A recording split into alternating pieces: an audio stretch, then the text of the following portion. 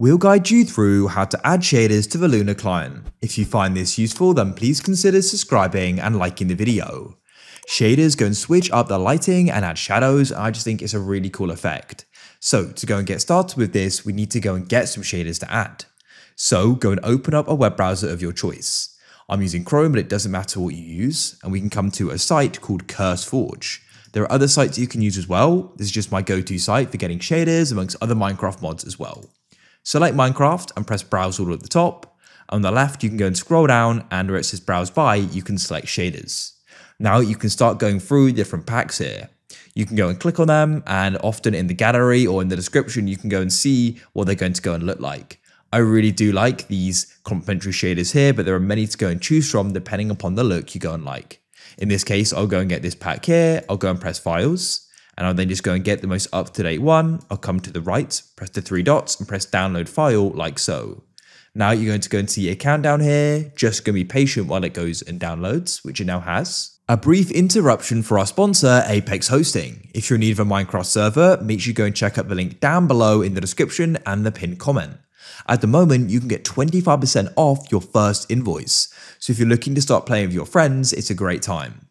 What you can do is go and scroll down on the page here and you can check out some of their awesome features like one click install mod packs, DDoS protection, 24-7 servers and support so you can get the help when you need it, instant setup, a powerful panel and much more. Next, you need to go and open up the Lunar client. Now you need to come over to the left and you need to go and click versions.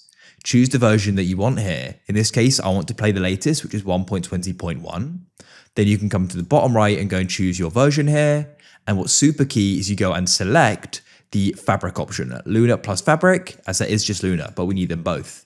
Have that selected, and then what you can do is go and press launch game in the bottom right like so, and now it should go and launch. Go and be patient.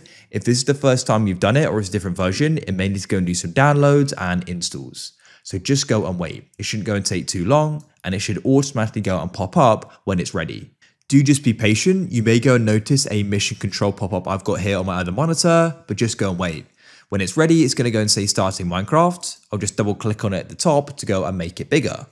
Now we need to go and install the shaders. So what we can do is go and press Minecraft settings at the bottom, the gear or cog icon. Here, you need to press video settings, and then what you can do is head to the top and press shader packs. I've already got some here as I've gone and added them before, but you probably won't have any. What you can do is press open shader pack folder and we should then go and get a pop-up. If I go and hover over my file explorer at the bottom, I can go and see it here. And then what I can do is go and open up a downloads folder. I'll right click on it and press downloads. And what I can then do is go and drag and drop my complementary shaders in. There they are. And then what I can do is go and select them and you need to go and click apply at the bottom. Then we can press done and done again. And what we can do is go and get into a world and we can go and see how these are going to go and look.